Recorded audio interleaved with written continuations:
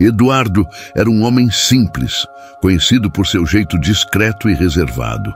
Ele vivia sozinho em uma pequena cidade e levava uma vida que parecia, aos olhos de quem via de fora, sem grandes dificuldades. Mas Eduardo carregava uma dor silenciosa. Havia perdido sua família muito jovem e enfrentava o peso da solidão todos os dias. Certo dia, em uma noite silenciosa, Eduardo foi ao centro da cidade em busca de um pouco de paz, caminhando sem pressa pelas ruas desertas.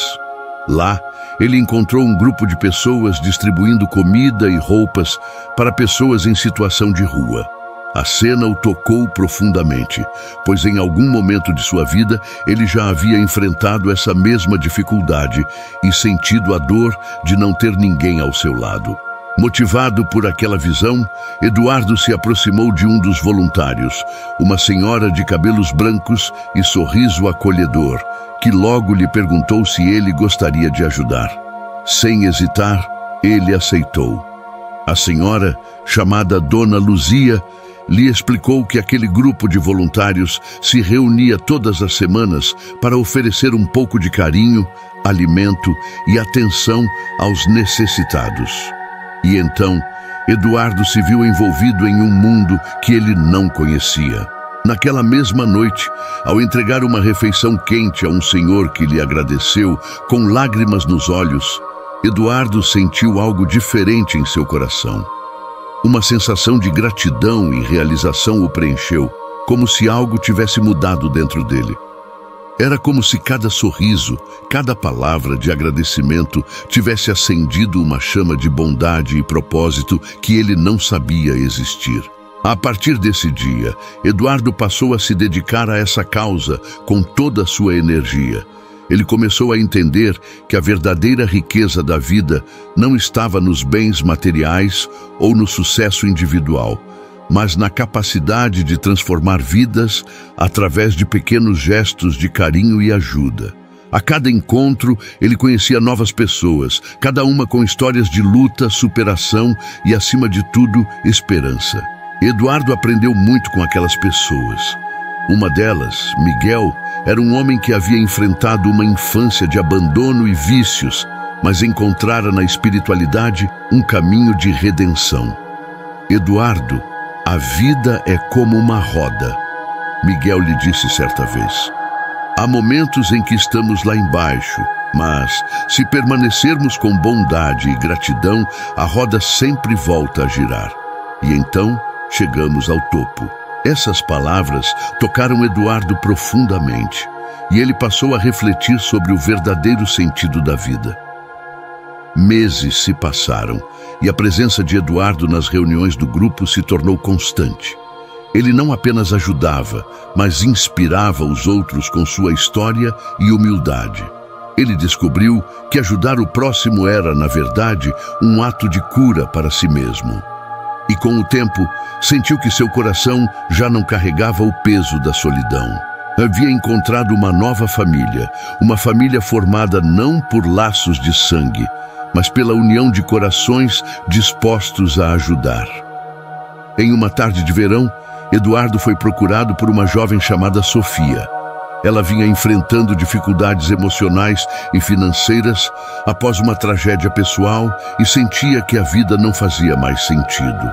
Sofia estava desesperada, à procura de alguma razão para continuar. Inspirado pela sua própria jornada e pelas palavras de Miguel, Eduardo ofereceu a Sofia apoio e uma nova perspectiva. Ele lhe ensinou a importância de viver em gratidão, mesmo nos momentos mais sombrios. A gratidão, ele disse, não é sobre ter tudo o que se deseja, mas sobre valorizar cada momento, cada pequeno milagre que a vida nos oferece.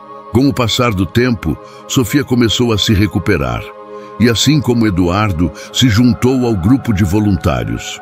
Ela encontrou, na prática da caridade, uma nova motivação para viver. Eduardo testemunhava o ciclo de bondade e superação se repetindo, e seu coração se enchia de alegria ao ver que sua jornada também inspirava outras pessoas. Certo dia, durante uma ação do grupo, Eduardo se lembrou de algo que Dona Luzia havia lhe dito na primeira noite em que ele participou. Às vezes, ajudar o próximo é o único milagre de que precisamos para nos encontrarmos. Ele olhou ao redor, vendo rostos familiares e desconhecidos, mas todos unidos pela mesma vontade de fazer o bem, e percebeu o quanto tinha evoluído desde que começou.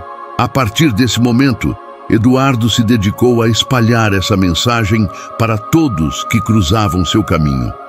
Ele compartilhava sua história de superação e os ensinamentos que havia recebido sobre espiritualidade, caridade e bondade, na esperança de que mais pessoas se unissem a essa corrente do bem.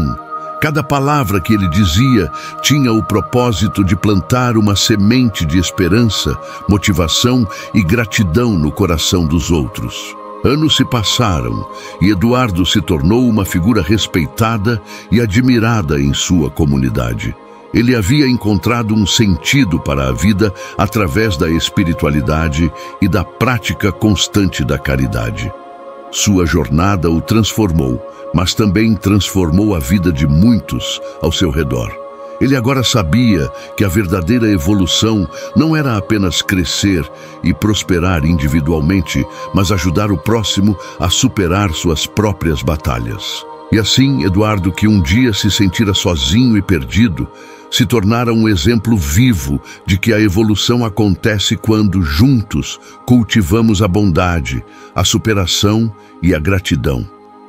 Cada pessoa que ele ajudava era mais uma peça de uma grande corrente de evolução espiritual. E ele sabia que enquanto existissem corações dispostos a fazer o bem, essa corrente jamais se romperia.